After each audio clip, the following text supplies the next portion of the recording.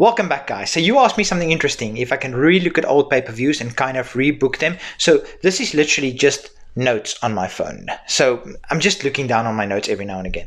So I'm going to rebook WrestleMania 27. Um, but I'm not going to change too many things because what happened happened already. Before Mania, I'm not going to change anything that happened before Mania. I'm just going to try and alter a little bit to make it a slightly more palatable card. So let's see. The Mania 27 card was um, World Heavyweight Championship: Edge defeating Alberto Del Rio, Cody defeating Rey Mysterio, Kane, Big Show, Kofi, and Santino defeating the Corre.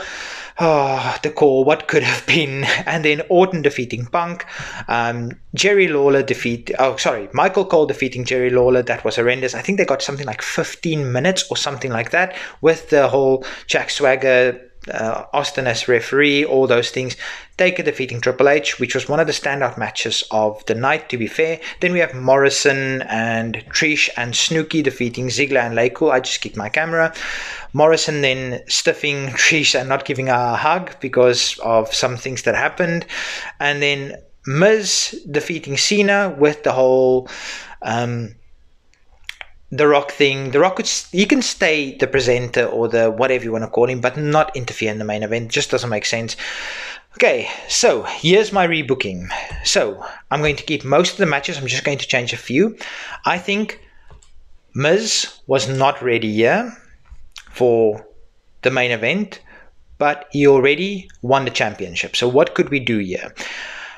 I think this was the perfect spot to have Cena versus Taker. Cena versus Taker um, should have absolutely been the match here. It shouldn't have been Cena Triple H, even though WWE told the thing 25, 26, 27, 28 with uh, Shawn Michaels Triple H and Taker, but I think Cena Taker here would have made so much sense. You could have still had 1028, could have still been end of an era. It could have maybe not end of an era, but it could have still been Hell in a Cell. It could have still been Taker versus um, Triple H.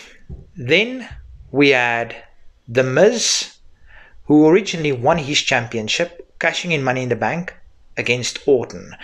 So what could have happened here was they could have just had a rematch for it just makes a little bit more sense for the championship. So Miz beats Orton. Then I've got Triple H versus Punk. There's a story already right there. Triple H versus Punk. Then Lawler versus Cole. I'm still making that match happen, but make it three minutes. Give the rest of that time to the Corre versus that other group. What was it? Big Show, Kane, Santino, and Kofi. Give the rest of the time to them. They only had something like five minutes. Lawler versus Cole. Make it a three minute squash match and make Lawler go over.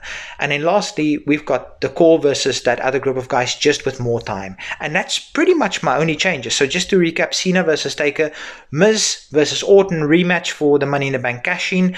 And then last, um, Triple H versus Punk, Lawler versus Cole squash match in Lawler Favor, and the Corre versus the group of other guys, they just get more time.